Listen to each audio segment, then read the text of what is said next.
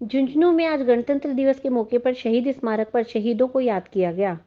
गणतंत्र दिवस के जिला स्तरीय कार्यक्रम में हिस्सा लेने आई महिला एवं बाल विकास मंत्री ममता भूपेश कार्यक्रम में शामिल होने से पहले सर्किट हाउस से सीधा शहीद स्मारक पहुँची, जहाँ पर उन्होंने शहीद वेदी पर पुष्प चक्र अर्पित किए और शहीदों को याद करते हुए उन्हें नमन किया। इस मौके पर ममता भूपेश ने कहा कि झुंझुनू शूरवीरों की धरा है।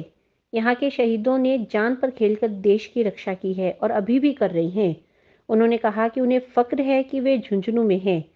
यही नहीं, सैनिकों व शहीद परिवार के कल्याण के लिए राजस्थान सरकार संकल्पबद्ध है। इस मौके पर कलेक्टर लक्ष्मण सिंह कुड़ी समेत अन्य प्रशासनिक अधिकारी मौजूद थे।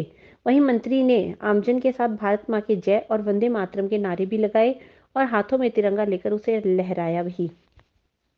आज मैं शहीदों को नमन करना चाहती हूँ और मुझे खुशी है, मुझे फ़क्र है कि झुंझुनू ज़िला एक अपने आप में सर, आर्मी के अंदर काम करने वाले लोगों के हिसाब से हिंदुस्तान के अंदर, सर्वोच्च जिलों के अंदर से आता है। यहाँ की शहादतें, यहाँ के वर्तमान में सेना में काम करने वाले हमारे नौजवानों के जज्बे को सलाम करना चाहूँगी और राजस्थान सरकार के माध्यम से सैनिक कल्याण के लिए जो भी कार्य हमारे ज़्यादा से ज़्यादा हम कर पाएँगे, माननीय मुख्यमंत्री जी के निर्देशन में करेंगे। आज ये शुभ अवसर है। मुझे फक्र महसूस हुआ कि मैंने शहीद स्मारक आके इनको श्रद्धांजलि अर्पित की। ये मेरे लिए बहुत बड़ा गौरव का विषय है।